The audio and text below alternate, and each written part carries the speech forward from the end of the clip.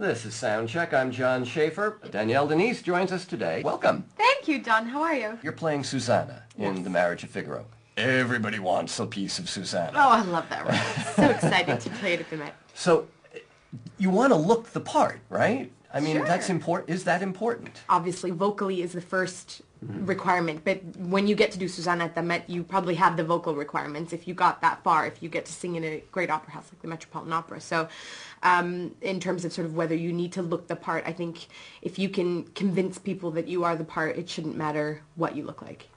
In terms of uh, attracting a wider audience, the people who might not normally find themselves sitting in the, uh, you know, the, the upper ring there at the Met. Yeah. I mean, it does help. definitely young, glamorous um, aspects can help, but of course you have to have the personality because if you could, you could be really gorgeous, um, but if you're a complete airhead or you don't, you don't have anything to say about music, you don't have anything to give on the stage, you would just stand there like a, a you know, I don't know, just like a statue ah. singing, and, and looks wouldn't help then. I think it's about your personality and it's about your temperament as an artist.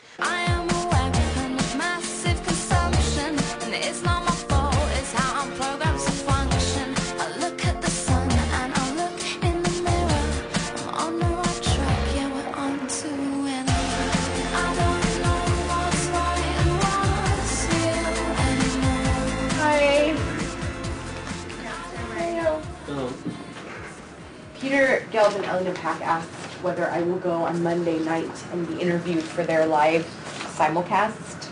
They said they know it's the day before my opening. You do have to come into town. Yeah.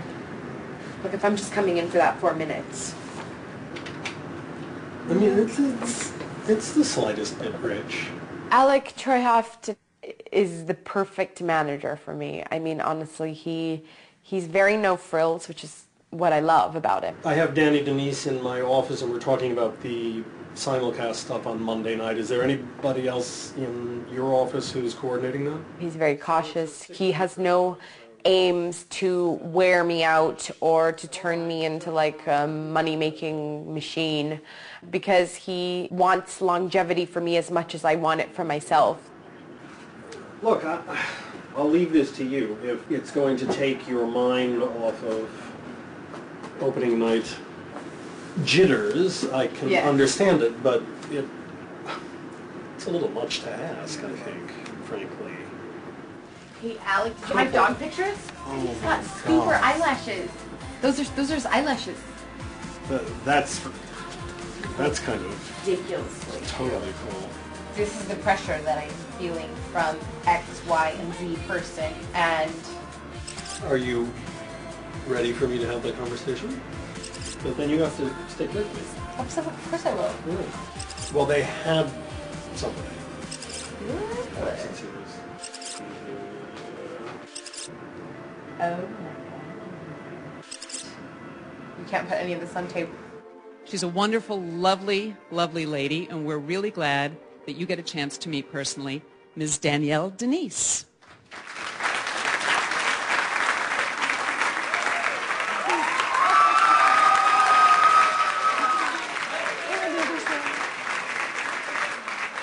Having been singing already at eight, nine years of age, I love to spread the idea that you're never too young to begin. Did you guys enjoy the show? Yeah. Okay. Good. Good.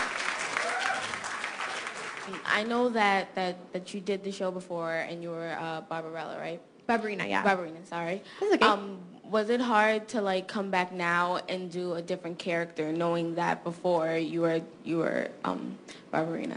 I used to watch the production in rehearsal while I was singing Barbarina and dream about when would I ever have the opportunity one day to come and sing Susanna here. If, if I did have the opportunity, it would be a dream come true. So literally, you guys are the first to see me living that dream out.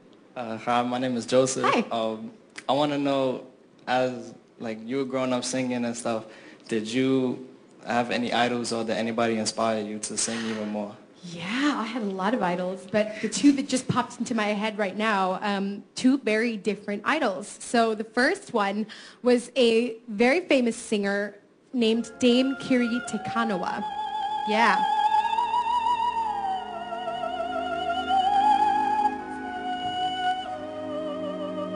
I grew up in Australia for the first 10 years of my life. Dame Kiri was from New Zealand. And as an eight, nine-year-old in Australia, I watched Dame Kiri and I thought, here's a person who's doing what I want to do. She's of mixed background like me. She's from the southern hemisphere like me.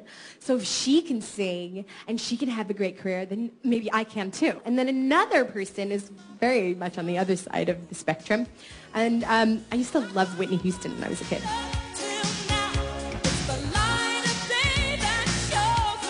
She was a huge star when I was a kid as well, so I used to watch her and sort of dream about being successful.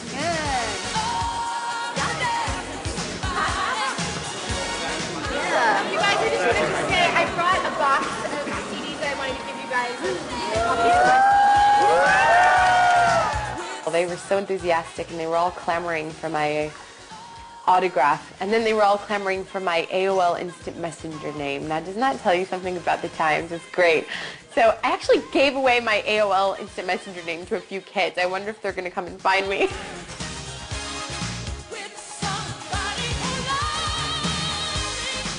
I've always felt that sort of connecting with the audience is that extra thing that they need to feel like they know somebody and then they can, you know, feel more comfortable coming back. So certainly without, you know, the, a new audience uh, being developed, we will be lost. And that's, you know, basically what I'm trying to do in general here at the Met.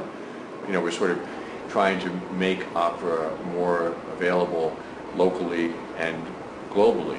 Uh, you know, our live high-definition transmissions into movie theaters, you know, this year are going to be seen on live in 1,000 screens every time every time we do one of these. That's exciting. But I mean, you know, it's, it's uh, but I'm very aware also that it's only as good as the performers.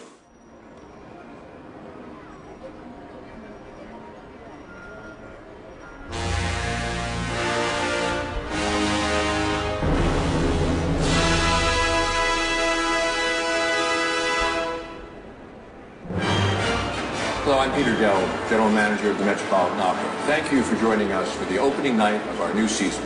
Tonight's performance marks the premiere of Luc Bondy's new production of Puccini's Tosca. I'm with Danielle De Niese and Susanna Phillips, rising young sopranos who are in two Mozart operas at the Met this week.